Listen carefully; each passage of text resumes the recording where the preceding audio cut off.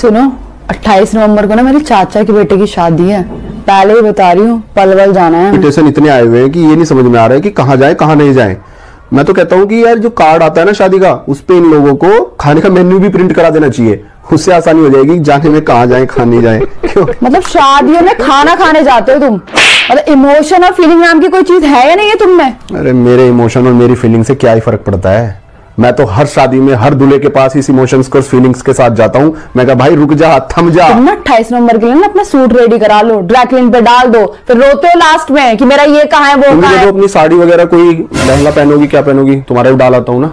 मेरी क्यों ड्रैकलिन क्लीन करानी है? मैं तो वैसे भी न्यू लेने वाली हूँ ना।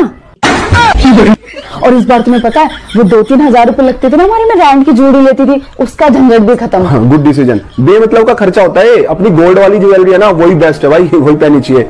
चलो ये तो ठीक है। गोल्ड तो मैं पहनूँगी लेकिन मुझे पता चला कि वो जो हम लेते थे ना दो तीन हज़ार का जो रेंट पे करते थे वो एक्चुअल में ज्वेलरी आती है पाँच हज़ार रुपए में ऑर्डर कर दिया मैंने वो भी। है ना फ़ायदे की बात? अब क्या भाई पैसे पेड़ पे उगते हैं क्या? पैसे किस चीज़ से बनते हैं बताना जरा? कागज़ से। और कागज़ किससे मिलता है? लकड़ी से। और लकड़ी कहाँ से मिलती है? पेड़ से। तो पैसे पेड़ पर ही तो लगते हैं फिर। अब तो कोई शिकायत नहीं हुई तुम्हें मेरे मायके में? दावत पानी खूब अच्छे से हुआ। हाँ कुछ ज़्यादा ही हो गया इस बार तो यार। अच्छा लगा ना तुम्हें? खुश हो तुम? हाँ खुश तो हूँ। लेकिन यार तुम्हारी भाभी ना यार उम्र में मेरे से बड़ी है और मेरे पैर छूती है यार बिल्कुल अच्छा नहीं लगता। अच्छा। चलो कोई नहीं मैं आगे से बोल दूँगी नहीं छुएगी वो ठीक है ना पैर मना करना सिर्फ़ छूने में कोई प्रॉब्लम नहीं है छूना इज़ फाइन एक आदमी की बॉडी में एक लाख अड़तीस हज़ार नसें होती हैं पता है तुम्हें ये बात हाँ लेकिन दबानी कौन सी है ये सिर्फ़ उसकी पत्नी को पता होता है ज़ुबान आगे से खोलते हुए ना होशो हवास में बात करनी चाहिए जद तक मैं आज वो बहुत याद आ रहा है। लेकिन वो कौन है वो भी याद नहीं आ रहा है। दादी सही वाला अंगूठा लगाओ ये नहीं पकड़ लिया। सही वाला कौन सा पैर का लगाए दो इसमें हाथ के तो दोनों लगा दिए। तो चलो एक बार ऐसे ऐसे करके लगाइयो। हाँ ऐसे ऐसे तो करंट बन जाएगा। फिर नहीं पकड़ा। देखो तुम्हारे पैसे अंगूठे से नहीं निकलेंगे। अंगूठे से नहीं निकलेंगे और घुटने से निकलेंगे। अरे तो मैं क्या करूँ जब तुम्हारे फिंगर प्रिंट ही घिस गए यार तेरे पैसे निकल जाए अंगूठे से। और मेरे तो ठीक है। कितने ठीक है? तेरे अंगूठे बोले भी। हैं निकलो और पैसे? पैसे जब तक नहीं निकलेंगे जब तक आधार कार्ड पर फिंगर प्रिंट नहीं चढ़ेंगे। मेरे आधार कार्ड पर नहीं चढ़ेंगे? क्यों? लल्ला उस पर पन्नी चढ़ा हुई है।